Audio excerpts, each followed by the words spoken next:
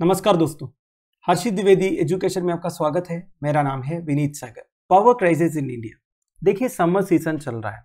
गर्मी बहुत ज़्यादा बढ़ी है, इसलिए इलेक्ट्रिसिटी कंजप्शन भी ज़्यादा हो चुका है। साथ साथ में हमारे देश में कोल की शॉर्टेज है, इसलिए पावर क्राइसिस भी है। क्योंकि हमारे देश में जितना पावर जनरेट होता है, उसका 75 परसेंट से ज़्यादा कोल से जनरेट होता है। तो आज इस वीडियो में इस टॉपिक के ऊपर हम एक डिटेल्ड एनालिसिस करेंगे। तो चलिए शुरू करते हमारे देश में इलेक्ट्रिसिटी का जितना डिमांड है, उतना सप्लाई नहीं हो पा रहा है due to shortage of coal latest reports के हिसाब से 100 से ज़्यादा थर्मल पावर प्लांट्स जो 70 percent of India electricity demand को कैचर करते हैं, उधर कोल का जो रिक्वेड स्टॉक है, वो 25 परसेंट से नीचे हो चुका है।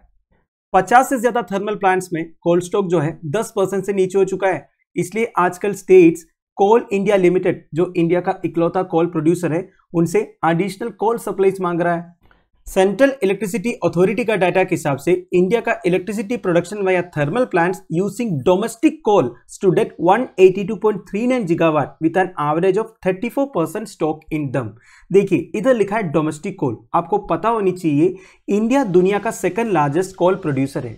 और इंडिया दुनिया का सेकंड लार्जेस्ट कोल इंपोर्टर भी है। इंडिया अपना कोल कंसप्शन का करीब 22 परसेंट बाहर से इंपोर्ट करते हैं। मेन कंट्री से Indonesia Australia South Africa and USA 2020-21 में इंडिया करीब 215.25 million tons of coal import किए थे। 2019-20 में 248.54 मिलियन टन्स फिर 2018-19 में 235.35 मिलियन टन्स वैसे दोस्तों, आपके मन में डाउट आया होगा second largest producer of coal है इंडिया आफ्टर चाइना फिर भी इंडिया सेकंड लार्जेस्ट इंपोर्टर क्यों है? इसका रीजन यह है दोस्तों इंडिया में जो कोल अवेलेबल है, वो गुड क्वालिटी कोल नहीं है। इसमें एक तो हाई एश कंटेंट है। दूसरा, हमारे पास कोकिंग कोल की अवेलेबिलिटी नहीं है। कोकिंग कोल मतलब जो स्टील मेकिंग के लिए यूज़ करते हैं। और इंडिया में जितने थर्मल पावर प्लांट्स है ना दोस्तों, वो ऐसे डिजाइंड है जिसमें कोकिंग कोल यूज़ कर सकता है। जो डोमेस्टिक कोल यूज़ करने वाला थर्मल प्लांट्स भी इंडिया में कम है। और एक बात यह दोस्तों इंडिया कोकिंग कोल किस एजेंसी के थ्रू इंपोर्ट करते हैं? Steel Authority of India Limited ये भी ध्यान दीजिएगा। और देखिए इंडिया में जितने पावर प्लांट्स है, जो इंपोर्टेड कोल यूज़ करते हैं पावर जनरेशन के लिए, वो 16.73 गीगावाट ऑफ़ इलेक्ट्रिसिटी जनरेट कर रहा है आजकल। और उनके पास भी जो एवरेज कोल्ड स्टॉक है, वो केवल 34 परसेंट है। और नाइन थर्मल प्लांट्स जो 3.56 जिगावाट ऑफ़ पावर जनरेट कर सकता है, वो अभी नॉन फंक्शनल है तो पावर क्राइसिस तो होना ही है। तो आजकल इंडिया में इलेक्ट्रिसिटी की डिमांड ज़्यादा है और सप्लाई कम है। इसी वजह से कई सारे स्टेट्स में load shedding and plant power outrages चल रहे हैं। Like Andhra Pradesh Gujarat Maharashtra Jharkhand Bihar Haryana Uttarakhand etcetera April के स्टार्टिंग से Jharkhand has been facing an average supply shortage of 10 to 12 percent the worst in the country तो सबसे ज़्यादा electricity की shortage है झारखंड को 10 से 12 परसेंट तक। फिर आंध्र प्रदेश में 10 परसेंट उत्तराखंड में 8 से 10 परसेंट मध्य प्रदेश में 6 परसेंट एंड हरियाणा में 4 परसेंट सबसे इंपॉर्टेंट इश्यू है दोस्तों इस क्राइसिस का the low 26 percent average plant load factor जिसे पी बोलते हैं। Now this is very important you What is plant load factor? It is a broad measure of a power plant's output during a period compared to its maximum output. देखिए, एक power plant का जो maximum output है, उसका कितना percentage वो power generate कर पा रहा है? वो है प्लांट लोड फैक्टर तो आजकल हमारे देश में मैक्सिमम जो पावर प्लांट्स है, उसका जो प्लान लोड फैक्टर है, वो 26 परसेंट में चल रहा है। ये काफ़ी लो है। वैसे नॉर्मल 56 परसेंट चलता था। और एक इशू यह है दोस्तों, आजकल जो इंपोर्टेड थर्मल कोल का प्राइसेस है, वो भी इंक्रीज हुआ है। लास्ट ईयर इसी टाइम पर एक टन इंपोर्टेड थर्मल कोल का प्राइस 50 टू 100 डॉलर के बीच में था, पर प्रेजेंटली वो 225 डॉलर पर टन है। अब इसका रीजन क्या है, आपको पता ही होगा। रशियन इन्वेशन ऑफ़ यूक्रेन की वजह से जो global energy shortage and fresh uncertainties हुआ है ना, वही। और बात यह है दोस्तों फ़िज़िकल ईयर 2022-23 में इंपोर्टेड कोल का जो प्राइसेस है ना, वो और 35 परसेंट इंक्रीज होगा, ऐसा एक्सपेक्टेड है। और भी रीजन है दोस्तों इस क्राइसिस का। मैंने आपको पहले कहा था इंडिया में कुछ नए थर्मल प्लांट्स जो है इंपोर्टेड कोल यूज़ करते हैं। अब वो टोटल इंपोर्टेड कोल नहीं यूज़ करते हैं, वो ब्लेंडेड कोल यूज़ करते हैं। मतलब इंपोर्टेड कोल के साथ थोड़ा बहुत डोमेस्टिक कोल भी ब्लेंड कर देते हैं मतलब मिक्स कर देते हैं। पर आजकल उन्होंने क्या किया, ये जो डोमेस्टिक कोल का मिक्सिंग है ना, उसका प्रपोर्शन ज़्यादा कर लिया। इस वजह से हमारा जो डोमेस्टिक कोल है, जो पहले कम यूज़ होता था नए थर्मल प्लांट्स में, वो आजकल ज़्यादा हो गया। ऑलरेडी हमारे देश में डोमेस्टिक कोल का क्राइसिस चल रहा था, इस वजह से वो और ज़्यादा हो गया। ऊपर से आजकल नॉर्थ एंड वेस्ट इंडिया में चल रहा है हीट वेव इसी वजह से इलेक्ट्रिसिटी का डिमांड बहुत ज़्यादा हो गया। क्योंकि लोगों को गर्मी से बचने के लिए एसी चलाना होगा कूलर चलाना होगा फ़ैन चलाना होगा, इसके लिए इलेक्ट्रिसिटी तो चाहिए ना। अगर आप मार्च का डिमांड देखोगे ना, वो 199 जीगावाट था। मतलब लास्ट ईयर से या फिर लास्ट टू लास्ट ईयर से अगर आप कंपेयर करोगे ना, इस मार्च का जो इलेक्ट्रिसिटी डिमांड वो थर्टीन ज़्यादा था।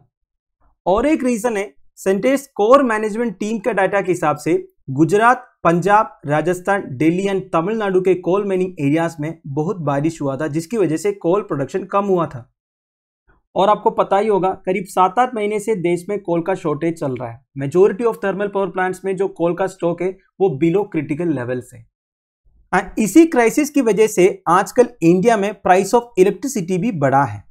85 परसेंट इंक्रीज देखने को मिला on Indian exchanges from an average of 3 per kilowatt hour to rupees 8.23 kilowatt hour in March तो इस क्राइसिस से बचने के लिए गवर्नमेंट ऑफ़ इंडिया क्या क्या मेशर्स अडोप्ट किया है? सबसे पहला तो Indian railways delivery of coal to thermal power plants को इंक्रीज किया है। मेरा कहने का मतलब है on an average Indian railway एक दिन में 300 के आसपास रिक्स ऑफ़ कोल डिलीवर करते थे थर्मल पावर प्लांट्स को। पर पिछले कुछ दिनों में इन्होंने अपना जो रेट है उसे इंक्रीज किया। एक दिन में 400 के आसपास रेट्स डिलीवर कर रहा है और लास्ट अप्रैल 28 को तो 427 रेक्स ऑफ़ कोल डिलीवर किए थे। मतलब करीब 32 परसेंट का increase and the railways had also temporarily rescheduled or cancelled trains on less busy routes to prioritize rate transportation ये न्यूज़ हमने कवर भी किया था। रिसेंटली कुछ पैसेंजर ट्रेन को इंडियन रेलवेज ने कैंसिल किया था या फिर रीशेड्यूल किया था। ताकि रेक्स ऑफ़ कोल को जल्दी पहुँचा सके थर्मल पावर प्लांट्स में। और government on Coal India Limited अपना कोल सप्लाईज भी इंक्रीज किया है to thermal power station by 14.2 percent और कोल जनरेशन आजकल एक दिन में 1.64 मिलियन टन से अगर आप 2021 से कंपेयर करोगे, वो 1.43 मिलियन टन था। इसके अलावा सेंट्रल गवर्नमेंट सारे स्टेट गवर्नमेंट्स को ये रिक्वेस्ट किया है कि आप कोल को बाहर से इंपोर्ट करना शुरू कर दो। And it has permitted power generating companies to blend imported coal up to 10% to ease the burden on CAL. देखिए कोल इंडिया लिमिटेड के ऊपर जो बर्डन है, उसे कम करने के लिए सेंट्रल गवर्नमेंट सारे पावर जनरेटिंग कंपनीज़ को ये बोला है, आप डोमेस्टिक कोल के साथ इंपोर्टेड कोल को ब्लेंड करो up to 10 percent and the centre is also moving on increasing the imported coal आप देखिए कोल जितना इंपोर्ट करता था ना उसे और इंक्रीज करने के बारे में भी सोच रहा है सेंट्रल गवर्नमेंट पर आजकल जो इंपोर्टेड कोल का प्राइस है, वो भी ज़्यादा है, इसलिए सेंट्रल गवर्नमेंट दुविधा में है। तो दोस्तों दैट्स इट अब मैं आपको मिनिस्ट्री ऑफ़ पावर का ऑफिशियल वेबसाइट पर लेके जाता हूँ। इसमें आपको power sector at a glance all India देखने को मिलेगा। ये एकदम अपडेटेड डाटा है, आपके एग्जामिनेशन परस्पेक्टिव में वेरी मच इंपॉर्टेंट है। देखिए टोटल इंस्टॉल्ड कैपेसिटी कितना है इंडिया में? इंस्टॉल जनरेशन कैपेसिटी कितनी इंडिया में? कौन कौन से फ्यूल्स इंडिया में यूज़ होते हैं इलेक्ट्रिसिटी जनरेशन के लिए? वो सब आपको इधर देखने को मिलेगा। देखिए सबसे पहला पॉइंट इंडिया में जितना इंस्टॉल जनरेशन कैपेसिटी है ना दोस्तों, इसमें 49 परसेंट प्राइवेट सेक्टर से है। ध्यान दीजिएगा, सबसे ज़्यादा प्राइवेट सेक्टर से है 49 परसेंट फिर स्टेट सेक्टर 26.2 परसेंट फिर central sector 24.6 percent now install generation capacity fuel wise fossil fuel से total 59.1 percent install generation capacity है। फोसिल फ्यूल में देखिए कोल से है 51.1 percent lignite 1.7 percent gas 6.3 percent diesel 0.1 percent तो टोटल हो गया 59.1 परसेंट वो total total fossil fuel install generation capacity now non fossil fuel इसमें बेसिकली रिन्यूएबल एनर्जी सोर्सेस आता है including hydro electric power hydro electric power है 11.7 percent wind solar and other renewable energy 27.5 percent केवल wind energy 10.1 percent, solar energy 13.5 percent, biomass power 2.6 percent waste to energy 0.1 percent small hydro power 1.2 percent. तो इसमें सबसे कम कौन सा है? Waste to energy है। सबसे ज़्यादा कौन सा है? Wind solar and other renewable energy sources तो देखिए टोटल नॉन फोसिल फ्यूल से 14.9 परसेंट है और टोटल फोसिल फ्यूल से 15.1 परसेंट है। तो आप लोग एग्जामिनेशन से पहले ये वेबसाइट एक बार विज़िट करके जाइएगा ठीक है? इसमें से आपको एकदम अपडेटेड डाटा मिल जाएगा। तो दोस्तों that's end of it I hope आपको पूरे टॉपिक अच्छी तरह समझ में आया होगा। अब आपसे एक सवाल है दोस्तों।